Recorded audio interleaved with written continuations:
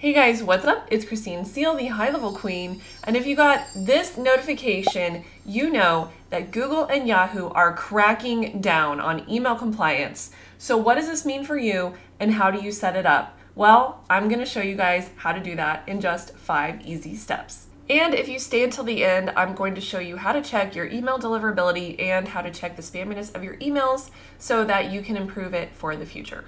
So, let's get started.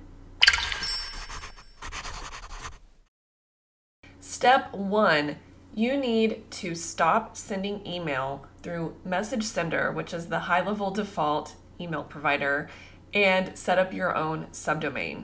Okay, a lot of people avoid doing this because they don't know how or they think it sounds scary, but it's really not. Trust me, you're going to want to do this if you want to deliver to any Gmail or Yahoo addresses. So, we are going to go through the process of setting up a subdomain. If you already have a subdomain, you can just skip to step two. The first thing that we need to do is go into our DNS provider settings. Okay, so I have my DNS settings up here. I use Ionos, but you can use GoDaddy. This would be Cloudflare. This would be any of those uh, type of websites. And you're going to want to pull up your DNS settings because we're going to need this in a second. Okay, now in high level, the first thing you want to do is go up to your agency account settings top level and then click on settings at the bottom and then go to email services. Here is where you are going to enter your domain name. I usually recommend something like mg.yourdomain.com or lc.yourdomain.com. It has to be unused and it cannot be your root domain. Please do not do that, okay? So, because old habits die hard and I'm a former Mailgun girly, I am going to just put mg.mydomain.com. And doing this is actually going to ensure that when you send an email, it actually looks like it's coming from your domain instead of from the generic high level domain. Go ahead and click on Add and Verify. And what this is going to do is it's going to give you DNS records to set up. Added bonus if it now sets them up for me. okay, uh, so here's what we're going to do. We're going to add the following records. Don't be scared. Okay, there's only five, and I'm going to show you how to do it. It's going to go really quick. So this is where I told you you need to have your DNS settings up and ready. The first two are text records. So all we're going to do is click on this little copy go over here to your DNS provider, click on add record, and then the first two are TXT. And this first key is a host key, the second key is a required value. So we're gonna do the host first. We're just gonna paste it in there. It's kind of long, don't worry about it.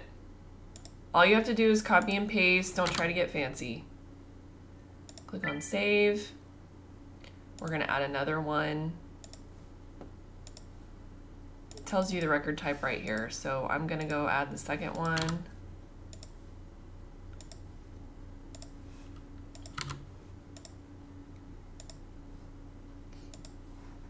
Okay, we're done with TXT. Now we're going to move on to CNAME. This is actually what creates your subdomain. Again, I'm just copying and pasting click save. And I will say, while we're working on this together, that this takes between an hour to 24 to 48 hours. I've never, well, I'm not to say never because I've been in web development since 1998, but um, I've seen it happen like twice in my life where it took a long, long, long time, but something was typically wrong. So you're want to be patient with this if you don't already have this set up, it could take a while. It doesn't usually, okay, but it could. Okay, so we just did the CNAME. Now we're gonna do the MX, and there's two MX. This is gonna assign the mail server to your domain. And if you notice, they're using Mailgun and Lead Connector. Then we're gonna do another MX record. And if you need to pause it, if you wanna rewind it, feel free. I'm just copying and pasting. That's all I'm doing. Okay, we have our records set up. Now, what we're gonna do is click on verify records. And again, it may not start working as quickly as you want it to, but we're gonna give this a go. So you might be able to use this auto configure thing. Mine isn't gonna work, but maybe it works with like GoDaddy or the more popular ones. So I had it looks like I had a little bug in here. So I've added all my records and it says that they're that they were all verified except this one. I'm just gonna click the button again. And now it says they're all verified and it only takes 60 seconds. Okay. So it says they're all verified, but it says that my domain isn't verified. And sometimes you have to click it a lot. Sometimes I have to go back in and click it like three or four times. I'm not sure why. There it goes. Okay, third time's a charm. I went in and clicked verify three times and now it says that I am good to go with my dedicated domain.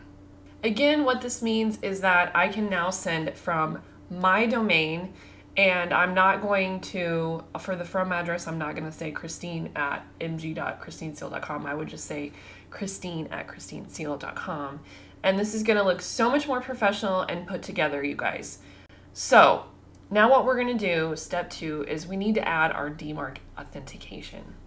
There are some free tools you can use to see if you already have this. You probably don't since you just set this up. Now, if you didn't just set this up, you might already have this. So now what you're going to do is go to a service like Dmarcian, D M A R C I A N, and just type in your subdomain, not your main domain, mg, that's what I used, dot christineseal.com, and I'm going to click on inspect domain. And of course, it says that I am not compliant because I just set this up with you just now. So we did not close, hopefully we did not close our DNS records because we're gonna need to do another record. Click on add record, and this is gonna be a TXT record again. Now this is a little tricky, and if you're not careful, this could trip you up. So it says that the host name needs to be underscore DMARC, okay? However, if you have a subdomain, this is not going to work okay? This is going to set up a DMARC record for your main domain. You need to say dot whatever your subdomain is. So mine is mg.christineseal.com. So I'm setting up underscore dmarc dot mg. That's all I'm going to put in there. Don't put a dot at the end or don't try to get fancy, anything like that. Then for the value, you're going to put this in, v equals dmarc1 semicolon p equals none semicolon. That's it.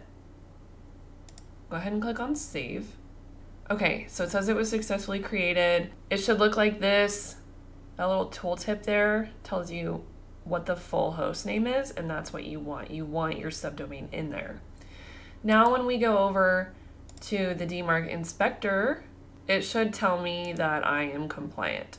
And it might take a little bit, I'm making sure that I set up the right domain and everything like that too when I'm clicking around. There we go.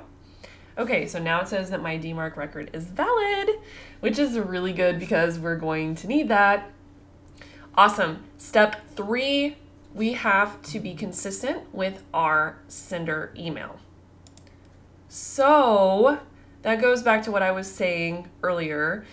You don't want to say like Christine at mg.christineseal.com you wanted to say Christine at christineseal.com.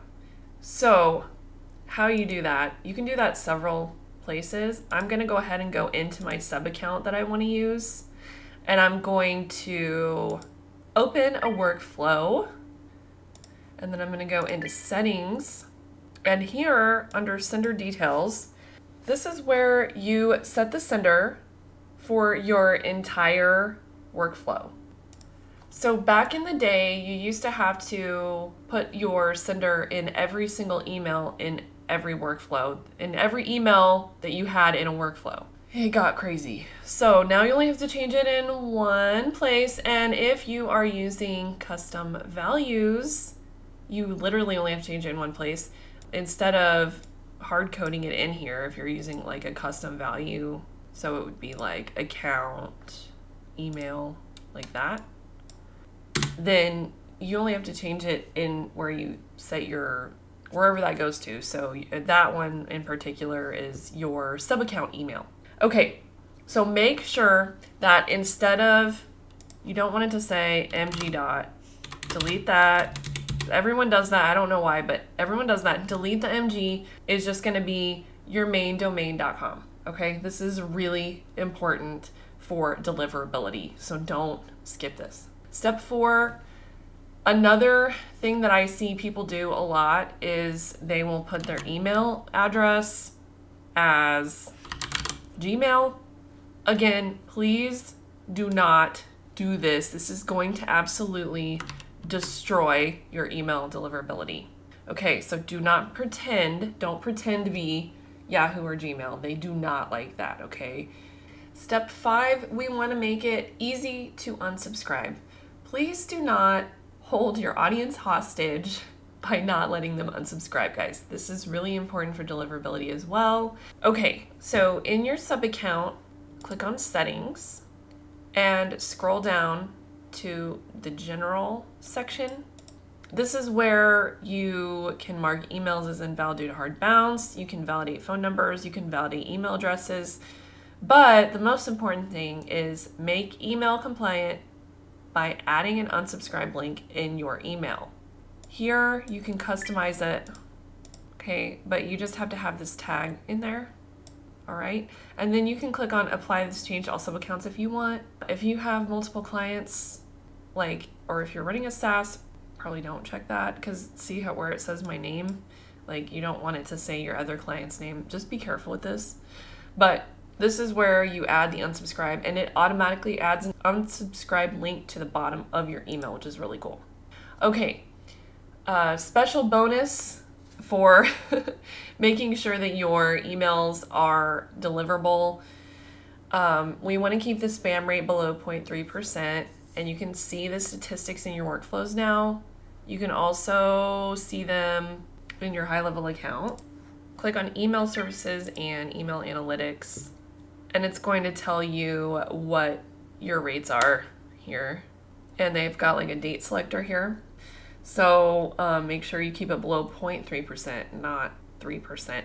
Also, my favorite tool to use to see what your spamminess of your emails is is mail-tester.com Okay, this is really important. I see a lot of people do this incorrectly. You're going to send the email that you want to test because every email is different, okay?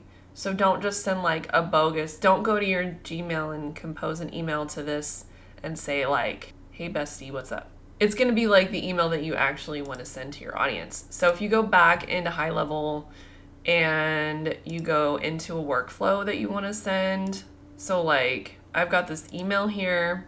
This is where I would put this email address. So I'm to paste that email address in there. I'm to click on send test email and it's going to say sending email sent. Go back over here, click then check your score. It's probably going to be terrible. Oh wow, no, it's not terrible. Okay. Uh, and then it'll tell you like your score and then what it thinks you can do to improve. And this is a really old email. I'm really surprised that it was pretty pretty legit. And you can do this as many times as you want for any email that you want to send. So I hope this helps you set up your email compliance. Don't forget to like and subscribe so you don't miss any future videos from me and get your link to a 14-day free trial down below. See you next time. If you love my videos, but you find that you still need help with your automation systems or high level in general, I have great news for you. Nerd Level Academy is your one stop shop for all of your training needs on high level, whether it's learning high level, setting up automations, automating your agency and your client onboarding, or even an SOP library. So go check it out at the link below, and I'll see you on the inside.